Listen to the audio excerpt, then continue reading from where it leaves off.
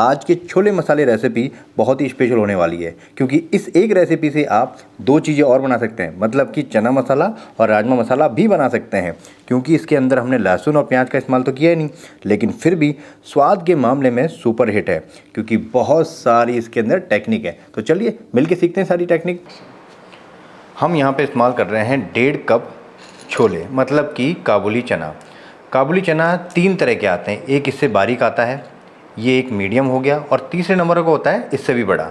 छोले बनाने के लिए आपको मीडियम साइज़ के बहुत अच्छे रहेंगे। इसकी क्वालिटी बहुत अच्छी रहती है। ज़्यादा बड़े वो चना मसाला या फिर चना चाट बनाने के लिए इस्तेमाल किया जाता है। इसको अच्छी तरह वॉश करना है और लगभग आठ घंटे के लिए सोख करना है। तो ये समय की बचत करते हुए हमने पहले से इसको सोख किया हुआ है। ये देखिए। और फूल के कैसे हो गए? तीन गुना हो गए। अब दोनों का साइज़ देखिए आप। दोनों को पास पास में रख देता हूँ। कितना फूल गया है। इतना फूलना चाहिए।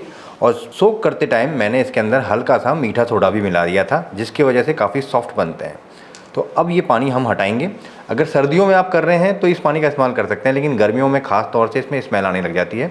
तो इस पानी को डिस्कार्ड कर दीजिए। यहाँ पे एक प्रेशर कुकर का इस्तेमाल किया है। सारे छोले इसके अंदर डाल देंगे हम। पानी कितना डालना है? पानी इतना डालना है कि डूब जाए। ज़्यादा पानी का इस्तेमाल नहीं करना है, क्योंकि ये जो पानी है, इसको हम वापस से रीयूज़ करेंगे इसकी ग्रेवी बनाने के लिए। अगर ज़्यादा पानी इस्तेमाल करेंगे तो पानी फेंकना पड़ेगा हमको। एक बढ़िया सा ब्राउन कलर के लिए हम यहाँ पे सूखे आंवला का इस्तेमाल कर रहे हैं।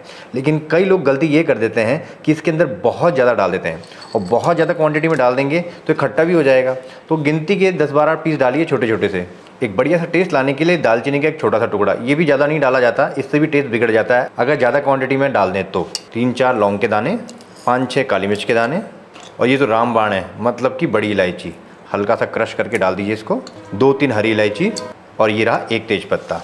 सारी चीज़ें हमने यहाँ पर डाल दी है। नमक नहीं डालना है। अब मुझे कई लोग बोलते हैं कि सर, नमक हम डालते हैं, हमारे छोले फिर भी बढ़िया होते हैं। होते हैं, लेकिन अगर आप सूखे चने बनाएँगे तो उसमें ये हार्ड हो जाएँगे बाद में। जब तक ग्रेवी के अंदर रहेंगे, तब तक सॉफ्ट रहते हैं। लेकिन अगर नमक डाल के आपने उबाला इनको तो जैसे ही आप इनको सूखा निकालते हैं तो ये हार्ड हो जाते हैं। तो होटल और रेस्टोरेंट के अंदर ये सिखाया जाता है कि कभी भी नमक डाल के छोले नहीं उबाले जाते हैं। तो यहाँ पर हम नमक नहीं डालेंगे, नमक हम बाद में डालेंगे। यहाँ पर लिए मैंने दो हरी मिर्च और इसके बीज निकालेंगे। हमको हरी मिर्च के सिर्फ़ और सिर्फ़ खुशबू चाहिए। तीखापन नहीं चाहिए। तो इसका बीज निकाल देते हैं। दो से तीन हरी मिर्च आप इस्तेमाल कर सकते हैं यहाँ पे। हरी मिर्च के हमने सारे बीज निकाल लिए हैं और थोड़ा सा छोटा छोटा करके मिक्सर ग्राइंडर में इसमें डाल देते हैं।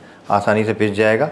लगभग तीन इंच अदरक का टुकड़ा है, लेकिन पूरा नहीं डालना है। एक इंच डालना है काट के। बाकी दो इंच को हम बाद में डालेंगे और कैसे डालेंगे, वो आगे आपको बताता हूँ। इतना मैंने बचा लिया है। एक धनिया का छोटा सा बंच लिया है। उसके डंठल डंठल पीसने के लिए डाल देते हैं। और जो पत्ते हैं, वो श्रद्धा अनुसार बाद में डल जाएगा।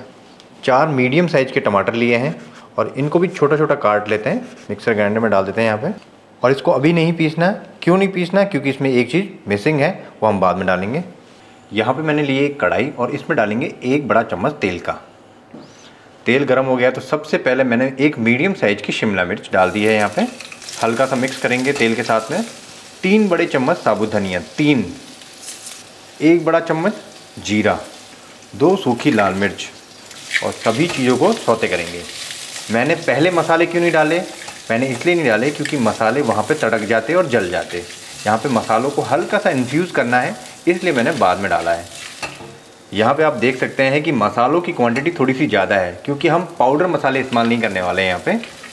हमने साबुत मसाले इस्तेमाल करे हैं, जिनको तेल में हल्का सा इन्फ्यूज़ कर रहे हैं, जिसकी वजह से इनमें खुशबू बहुत अच्छी आएगी और इन्हीं मसालों को हम पीसेंगे आगे।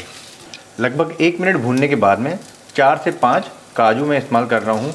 काजू का काम होगा ग्रेवी का एक बेस बनाना। लेकिन बहुत ज़्यादा क्वांटिटी में नहीं डाला, देखिए मैंने। सिर्फ़ और सिर्फ़ चार से पाँच डाले मैंने। इनको भी तेल के साथ में हल्का सा भून लेंगे। यहाँ पे देख सकते हैं कि मसालों का कलर हल्का सा चेंज हो गया है। जो कैप्सिकम हमने डाली थी, वो भी भुन चुकी है। तो गैस की फ्लेम को बंद कर दीजिए और इस मसाले को ठंडा कर लेते हैं और ठंडा करने के बाद में मिक्सर ग्राइंडर में डालेंगे। जो टमाटर, धनिया, मिर्ची हमने पहले से रखा हुआ था, उसी जार के अंदर ये मसाला भी ऐड कर देते हैं। और एक बढ़िया सा फाइन पीस तैयार करते हैं इसका। छोले का बेस यहाँ पर रेडी हो चुका है। सब चीज़ हमने पीस लिया है और बहुत ही फाइन पेस्ट हमने रेडी किया है यहाँ पे, ये देख सकते हैं आप। तो चलिए कुकिंग प्रोसेस स्टार्ट करते हैं। एक कढ़ाई के अंदर तीन से चार बड़े चम्मच तेल का इस्तेमाल कर रहा हूँ। ऑयल यहाँ पे गर्म हो गया तो सबसे पहले एक छोटा चम्मच जीरा। और जैसे ही आपका जीरा तड़के तो आधी छोटी चम्मच हींग। गैस की फ्लेम मैंने बिल्कुल कम कर दी अब। एक बड़ा चम्मच कसूरी मेथी। कसूरी मेथी डालने के तुरंत बाद दो छोटे चम्मच कश्मीरी लाल मिर्च। बहुत बढ़िया कलर आ जाता है इससे। फटाफट से मिक्स करेंगे और फटाफट से ग्रेवी ऐड कर देंगे। और ये रही नाम की हल्दी। सिर्फ़ कलर उठाने के लिए सूखे मसालों के नाम पे हमने थोड़ी सी हल्दी डाली है और लाल मिर्च पाउडर डाला है। वो भी कश्मीरी लाल मिर्च पाउडर। धनिया पाउडर, जीरा पाउडर हमने ऑलरेडी पहले ही डाल लिया था, इसलिए हम ऐड नहीं करेंगे। सबसे पहले अच्छी तरह से इनको मिक्स करना है। इसमें डालेंगे थोड़ा सा नमक और नमक डालने के बाद में एक बार मिक्स करेंगे। अब कोई मेहनत वाला काम नहीं है, इसको करते हैं कवर यहाँ पे। मीडियम फ्लेम पे रखिए इसको और मीडियम फ्लेम पे पकने दीजिए। बीच बीच में स्टर करते रहना क्योंकि इसमें काजू डला हुआ है, बाकी चीज़ें नीचे से चिपकने लग जाती है, जलने लग जाती है। तो यहाँ पे लगभग 10 से 12 मिनट हो चुके हैं और ये देखिए ग्रेवी का कलर देखिए आप। ग्रेवी की रंगत बोल रही है कि वो पक चुकी है क्योंकि मसाले डार्क हो गए हैं और यहाँ पे देख सकते हैं आप, एक दरदरा मसाला मतलब चिपक नहीं रहा आपस में। इसका मतलब हमारा ये जो मसाला है, बहुत अच्छी तरह से पक चुका है। अब इसके अंदर हम डालेंगे छोले। प्रेशर यहाँ पर रिलीज़ हो चुका है। और ये देखिए, कितना प्यारा कलर आया है। गिनती के पाँच से छः पीस मैंने डाले थे आंवला के। और कलर देखिए कितना अच्छा आया है। ज़्यादा नहीं डालने। अगर ज़्यादा डालेंगे तो खट्टापन बहुत ज़्यादा हो जाएगा। और आप छोलों को देखिए, इनका छिलका भी नहीं उतरा है, फटे भी नहीं है बहुत ज़्यादा। और अगर इनको दबाएँ तो ये देख, कितनी आसानी से ये दब रहा है। तो छोले बहुत ही अच्छे बॉयल हुए हैं। इसी तरह से बॉयल होने चाहिए। जो मसाले हमने डाले थे, वो हटा देंगे। ये आंवले जो हमने डाले थे, वो हटा देंगे। सिर्फ़ उसका पानी और छोले ही इस्तेमाल करेंगे। मसाले के अंदर छोले और उसका पानी दोनों ऐड कर देंगे। और ये देखिए, पानी मैंने कम लिया था, इसलिए लिया था कि सारा पानी मैंने यहाँ पे डालना है। अगर आपके पास में सूखा आंवला नहीं है तो आप चाय पत्ती, जो टी लीव्स होती हैं, उसका भी इस्तेमाल कर सकते हैं। लेकिन टेस्ट के मामले में बात कहूँ तो आंवले से ये अच्छा आता है। अब इस ग्रेवी को अच्छी तरह से पकाना है, जिससे मसाले छोले के अंदर तक चले जाएँ। तो यहाँ पर इसको कवर भी कर देते हैं हम और मीडियम फ्लेम पर पकने देते हैं। मसाले के साथ में छोले पकते हुए लगभग पाँच से सात मिनट हो चुके हैं। और ये देखिए, छोलों की रंगत देखिए आप। कितने शानदार छोले बने हैं। ग्रेवी बिल्कुल चिपकी हुई है छोले के साथ में अलग अलग नहीं है। आप चाहें तो हल्के से छोले दबा सकते हैं इस तरह से। ऐसा करने से छोले और ज़्यादा गाढ़े हो जाएँगे। लेकिन पूरा नहीं करना है। कई लोग गलती ये करते हैं कि पूरी तरह से मैश कर देते हैं कि बहुत ज़्यादा चंकी सा लगता है ये खाने में।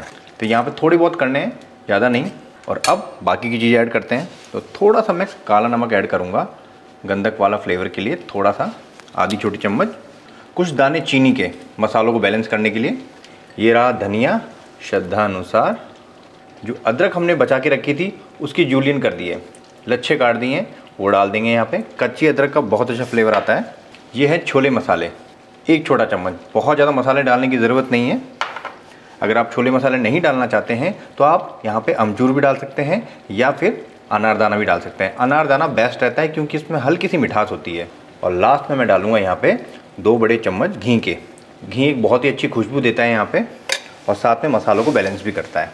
तो ये लीजिए, तैयार हो गए शानदार वाले छोले। बिना लहसुन प्याज के।